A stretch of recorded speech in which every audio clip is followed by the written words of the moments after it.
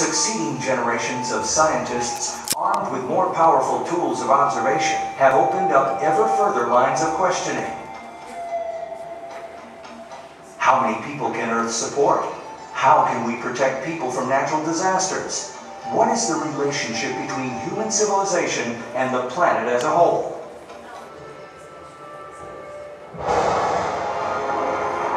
Welcome to Earth Revealed. In the same way a homeowner walks outside to check the condition of their house, we can now see how our home planet, Earth, is faring by looking at it from outer space.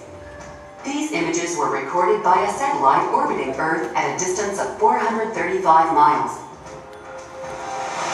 Our planet appears serene from outer space, with currents in the oceans and atmosphere swirling in a complicated dance which encompasses the entire globe.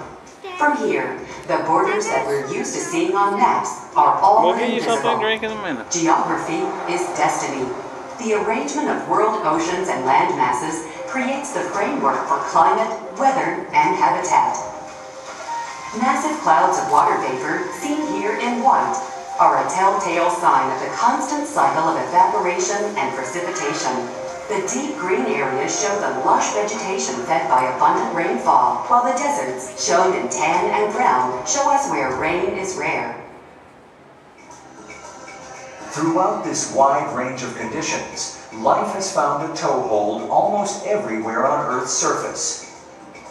One of the most important factors affecting life on Earth is the seasonal cycle, caused by the tilt in Earth's axis. The seasonal blooming of plants on land and in the seas plays a major role in regulating the carbon dioxide in Earth's atmosphere. Look for the greener areas in the ocean. These zones hold high amounts of microscopic phytoplankton. These tiny plants form the foundation of an oceanic food web that spans the globe. Billions of people depend upon this food web for survival. Earth's surface boasts a stunning variety of elevations. The daytime side of this view shows the relative heights of various areas of the Earth. Red and gray represent the highest terrain on the land. Green and yellow represent the lowest. Look for the mountain ranges in the oceans, such as the Mid-Atlantic Ridge, which is the violent site of two plates of the Earth's crust spreading apart. Also in the ocean is the Marianas Trench, which is south of Japan. This trench is the deepest point in the ocean with a depth of 36,201 feet, almost 7 miles. On land, the Himalayas are the home of Mount Everest, the highest point on Earth, at a height of 29,035 feet, almost 5.5 miles. Looking at the nighttime side, you'll see evidence of human civilization, the lights of the world. The white represents electric lighting from buildings and streets. The orange shading shows fires, and the blue spots are from oil rigs burning off gas in huge flares. Heavily populated areas are covered with white lights. You can easily trace the Nile River by the string of lights that follows it.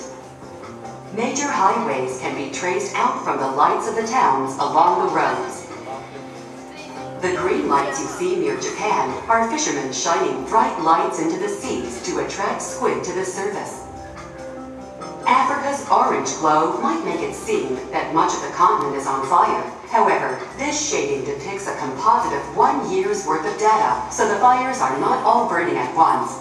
While some of the fires are for cooking, most are the result of slash and burn agriculture in the jungles.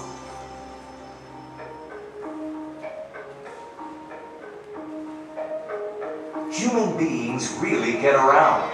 This is a 24-hour time lapse of only a portion of the commercial airline flights around the world on an average day. With over 6.6 billion people currently living on Earth, there's a tremendous and growing demand for food, consumer products, transportation, and international shipping. The raw materials and fuel to make this all possible have to come from somewhere, and the waste it generates has to go somewhere.